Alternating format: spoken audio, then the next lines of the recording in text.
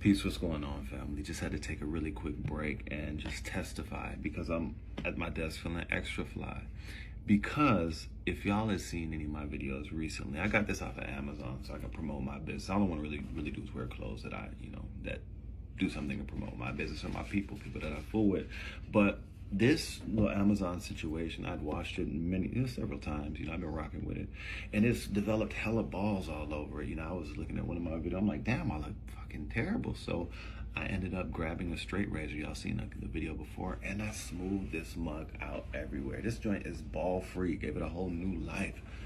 And man, I was talking to my nephew yesterday, and it's just like the most satisfying thing ever. So if anybody has any clothes with balls on it, send it to me.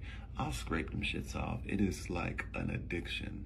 Like I wish I could do this just for a living, like be a ball scraper for old clothes with a straight razor. And that's it. That's all I wanted to share.